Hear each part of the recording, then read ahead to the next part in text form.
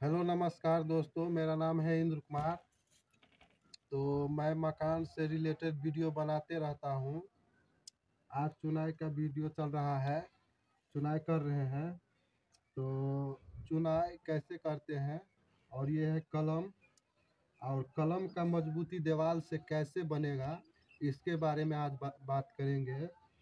तो जब भी हम पाँच इंची अपना दीवार बनाते हैं तो दीवार में इस तरह का ये एक इंची का गैप है, देखिए। इस तरह से होना चाहिए कि ताकि हमारे कलम जो है, ये कलम में जो है, जो ये कंक्रीट जब ढलाई होगा तो इस दीवार को जो है, कवर कर लेगा। मतलब इतना मज़बूत कर देगा दोस्तों, जो हमारे मकान को मजबूती बरकरार रहेगा।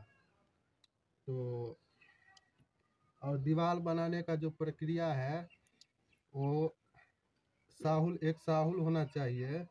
और जब भी हम दीवार बनाएँगे तो जैसे हम साहुल करेंगे इस तरह से तो जितना बार हम दीवार बनाएँगे तो एक ही ईटा से साहुल होना चाहिए।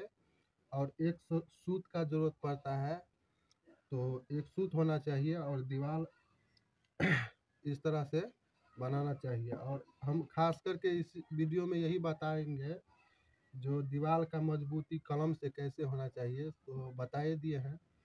और देखिए, इस तरह से काम करते हैं हम लोग चुनाई का। बस।